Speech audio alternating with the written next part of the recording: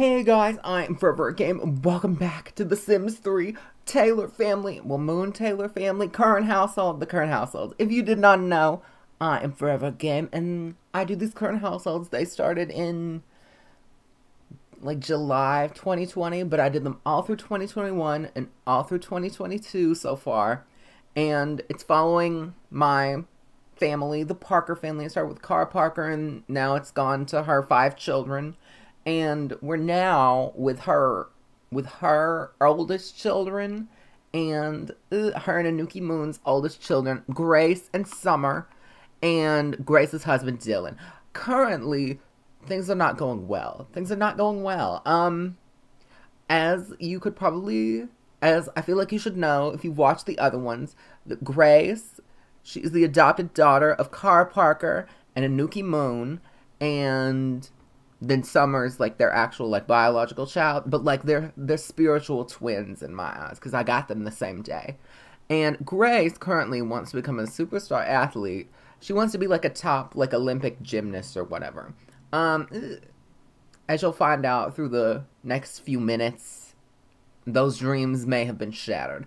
But she is married to this dude named Dylan Taylor. She is a Libra. She likes beach party music, stew, stew surprise, and seafoam. She is charismatic, a workaholic, dramatic, genius, athletic, ambitious. She's currently a rookie, but, you know, she's a gymnast. And she had a degree in physical education, which gave her charismatic. And she ages up in 11 days, but ignore the ages.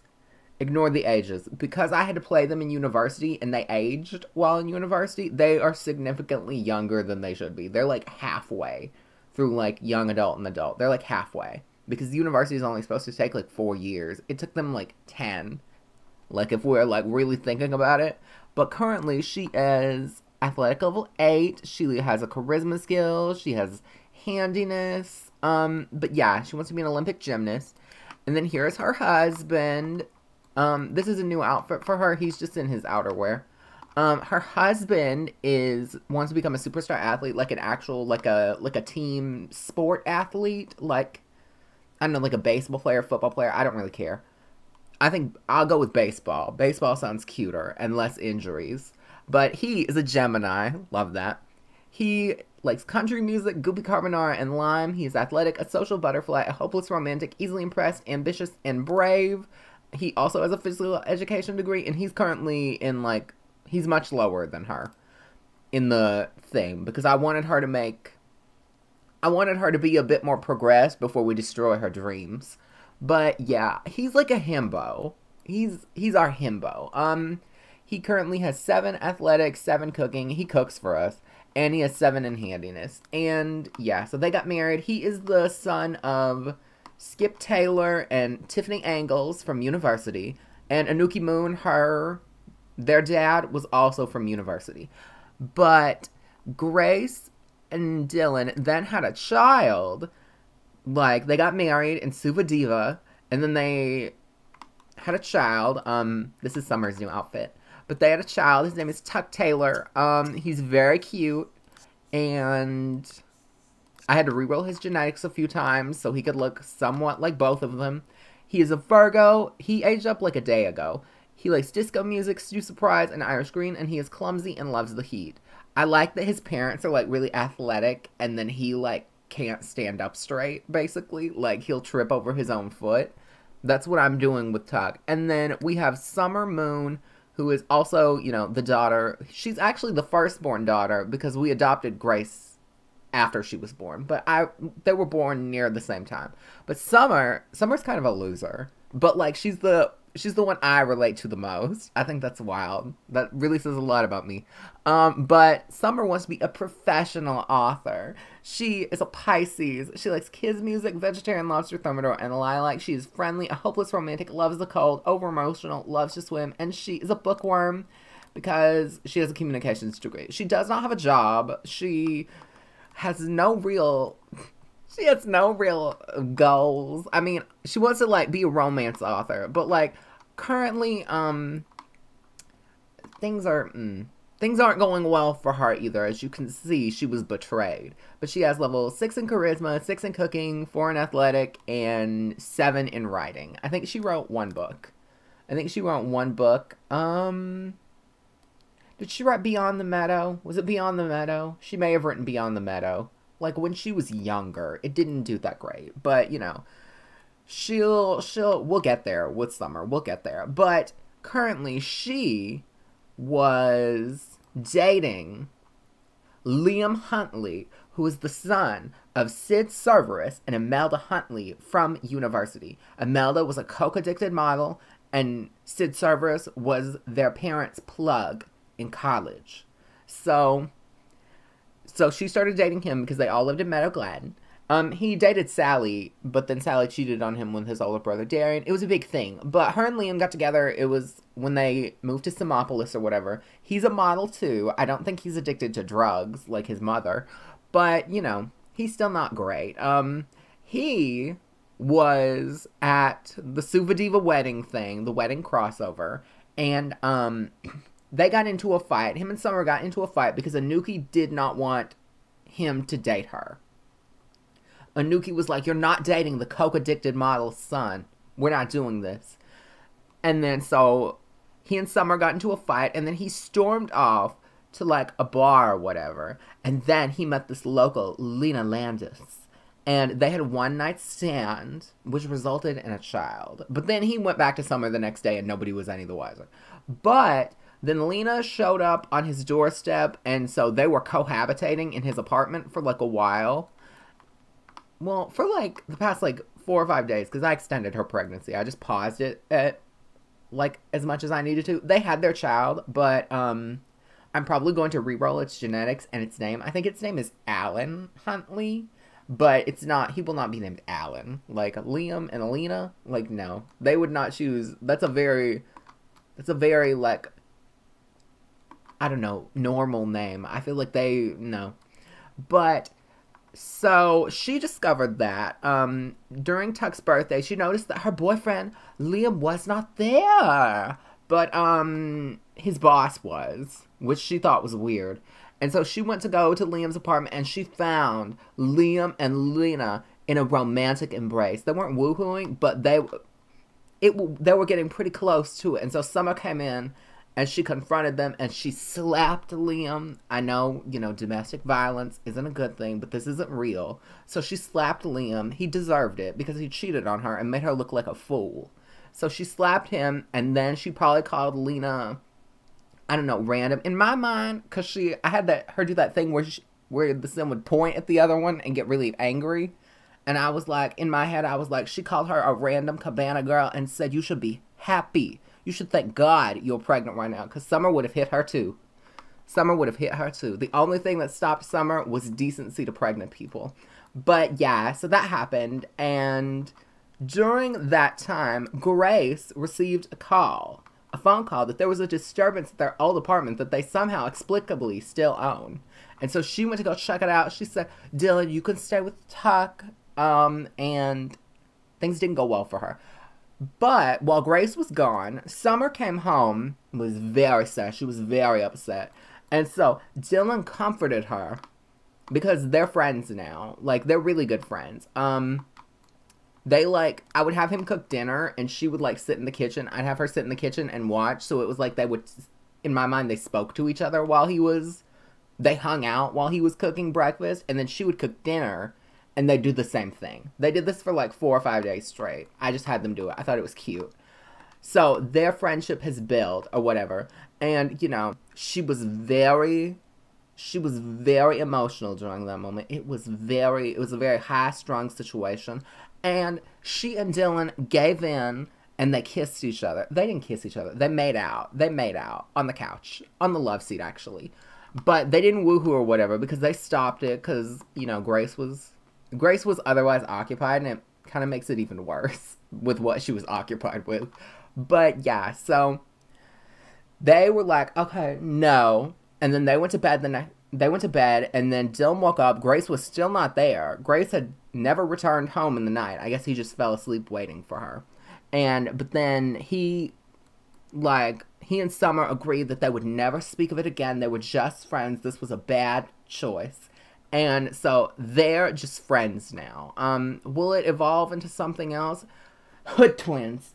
Maybe, maybe, excuse me, but maybe. But um yeah, so Summer was tasked with watching Tuck, and she's about to go put him in the high chair, while Dylan went to go to the apartment to find Grace. Well, he found Grace at the apartment. So, the backstory Grace has been accepted into the gymnast thingy. She's going to, I don't know, Sochi, wherever they go, wherever they go for the 20 whatever Olympics. Sochi, London, I don't care. Um, and she's had several people who were like her Olympic friends, Bridget Holloway. Her like Olympic, I guess, coach is Tiana Batista. Um, you know, Jessie Walsh, Lindsay Reed, Alyssa Leon. They're uh, her other like gymnast team. And um there was one other, but she was cut because she wasn't as good as Grace. But she felt like she was as good as Grace. That was Christina Bradley. Christina Bradley, she's an unwell person. As you can see, she's athletic, ambitious, hot headed, insane, and dramatic. That did not go well. Um, so Christina, because Grace took our spot on the team, Christina blamed Grace. This has been going on for like a week in game. I've had them just Christina always goes to the sporty events that I'll have them do, but like there's this underlying tension and it just built up and built up and built up until Christina snapped. So Christina is the one that caused the disturbance at the old apartment, causing Grace to have to go to that old apartment. And there, she unleashed her scheme where she ranted, she raved like a crazy person. Grace called her crazy, and then they got into blows. Christina punched her in the face. She, what did she do? I remember because I had to Google the violence and aggression to make sure she didn't kill Grace. But she punched her. She um, did a head punch. She did a grab head. She did a body stomp, and I think she did a knockout punch. But you know, Grace Grace got in a few hits herself. They fought like twice. But like Grace got in a few hits herself. But it ended with Christina grabbing. I'll show you. I'll show you because I set the scene at the apartment. I bought our old apartment again for this. So, in this apartment, they were. It's basically empty, but like they were in here, and then Grace ran, and then Christina like knocked her out or whatever, or like got her back to the ground, grabbed one of these fire poker thingies, and beat her leg in.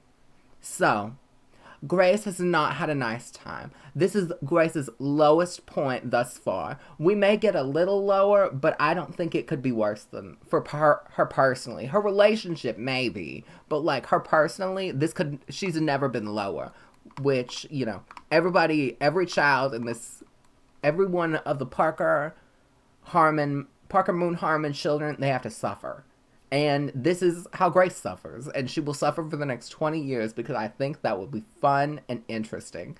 But yeah, so as you can see, I downloaded several custom content um makeup things. There's like body bruises, there's like a black eye, she has like a broken nose. It's bad for her. It's bad for her. But yeah, they're sad. But I'm gonna give Christina a few too, but I just wanted to record this. But Christina's gonna get a few a few little injuries too because Grace went down fighting. But yeah, so that was like late in the night. And that was when their conversation was had. So after Christina bashed Grace's leg in, thus destroying her Olympic dreams, because I, Grace is going to be a sports agent after she recovers from this. Because obviously she can't be. I'm gonna put her in a wheelchair too, just for a little bit. Just for a little bit. I downloaded I downloaded like a wheelchair seat, so that's going to happen. Eventually, she may regain. She'll probably regain her ability to walk, but currently, her one leg, bad. It's bad. I don't care which leg it is. Probably this one, maybe because it's above this one's, and obviously you wouldn't like you wouldn't like lay your other leg. So her her left leg. So Christina bashed in with a fire poker and then left Grace for dead because she was. I mean, she probably hit her in other areas too because Grace has some bloody hands. Uh, she has like the body bruises. Like it was rough. It was bad. And so Christina threw the fire poker down and then ran. She ran because she did not expect Grace to live. So she ran. She fled. And so early in the next morning, after Dylan and Summer had another conversation about like how, you know, nobody can know, blah blah blah. he was like, "Can you watch Tuck? Like Grace is still not here." And she's like, "Yeah, sure." Um, go find her. Um, and then so he went to the apartment and he discovered her lying on the floor, beaten and injured and near unconscious. She had been lying there for hours. It was sick. It was sick. I felt really bad. But I had always planned to do like the kneecapping or whatever. Like I felt really bad when they had to do it because I had her run to the other side of the room. I said, "Not my grace." But you know, he found her and then he scooped her up and then rushed her to pretend this says Simmeapolis Hospital. Um, he rushed her here because I wanted the screenshots. And so here she is. This is probably like the next day or whatever. So he obviously called and told Summer, and so Summer is now watching the child. But yeah, um, things aren't going well for them. It's very unfortunate. But yeah, so Grace is very injured. She'll probably come home today or whatever. And she'll be confined to a wheelchair that I downloaded for like a seat. Um, I side note. This game came out in 2009 and there I could not find a disability mod. I could not find a hard drugs mod. I couldn't find a wheelchair mod. I couldn't find anything. I looked for like an hour. I have the the hard drugs and the disability mod. It eludes me. There has to be one. There has to be. I know there has to be one. This game came out in 2009. It is 2022. Like there has to be something. Like I wanted Grace to actually be confined to a wheelchair for a bit. Like I actually wanted Eleanor to do hard drugs. So I have to like I have to make some adjustments. But yeah, so Grace's Olympic dreams are ruined. She's recovering, you know, you know, the IV. So yeah, her Olympic dreams are ruined and eventually she'll have to deal with that. So Grace will never achieve her lifetime wish because she always wanted to be an Olympian. And now she'll be nothing of the sort. She'll have to be a sports agent, which was my big plan because I didn't want two sporty. I didn't want two like sports people. Like I wanted something different. And Grace obviously got the more dramatic situation because she's a, a more important character than Dylan. But yeah, so not great, not great. And eventually she's going to start, I think like in a day or two, I'll have her come to the hospital like on a regular basis. Obviously she'll quit her job, but I'll have her come to the hospital on a regular basis and I'm going to download, not download, I already made him. I made like a physical therapist or whatever. He's going to be very attractive. And I think things will get messy, but like it will be it will look mess more messier than it is because they'll probably just stay friends, but Dylan will get jealous. And you know, Summer is still you know, she's still struggling with, you know, what like is love even a thing anymore? Like, cause she, that's Summer. Summer, hopeless romantic. Summer always believes in love. How messy it may be, Summer will always root for love, and which is why Grant is in the mess that he'll be into because she decided to root for love and not tell anybody about the situation with Leona. But like, so yeah, that's Summer's character. She like really roots for love. And so but like now her belief has been tarnished. So like what does she have left? What does she have left? This is her whole personality. And so yeah, I think because you know it can't be easy to like adjust to living with like like in a wheelchair. It cannot be that easy if you've grown up being all sporty and shit your whole life. So i feel like grace won't be i'm not gonna villainize grace and be like she's being so unreasonable. Like i just want it to be kind of realistic. Like this is going to be hard for everybody in the household. It's going to be a trial for their marriage one they may or may not succeed with. Um but yeah so i think it's just gonna really it's going to really change the dynamics of this house having to live with Grace's new injury and her new state of life, which isn't going to be permanent, obviously, because like like a broken leg can be fixed. Like shattered, broken. She wasn't paralyzed or anything. Like she just needs to go through extensive physical therapy, and then she also has to deal with the fact that her one life ambition to be an Olympic gymnast will not come true. And so I think that will cause a lot of tension and conflict in the house that may push everybody towards less rational choices. Because, you know, Grace will be getting physical therapy, extensive physical therapy, long houred physical therapy from the very attractive physical therapist. And, you know, I think that will kind of bother Dylan, you know? Plus, with the fact that everybody has to deal, everybody has to, like, reroute their daily lives because of this this incident. And it will just be very difficult for them because a lot of change will be happening. And so i think it will be very difficult. And i think dylan and summer may grow even closer which may result in the fabled storyline that i've always had in mind for these two for these three and yeah so i cannot wait for that to unfold but i think jesus Oh, I like her outfit though. I gave her this outfit. She wore it to the birthday party. I wanted her to be in something kind of dramatic for like the reveal of like the cheating and the one night stand baby. But yeah, so I think things will get a lot messier, but I think debatably this is the worst point of their lives. But I think that might be off and out next month it depends on how far I get with these these two. They may show up again next month. I think they'll show up at least once more before the end of the year for the for the incident that's going to occur somewhat soon.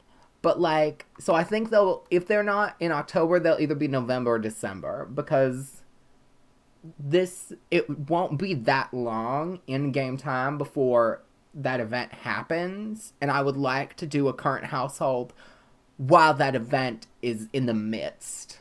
Like while we're having to deal with it. But next month, who should I do next month? Um is it gonna be Sally again?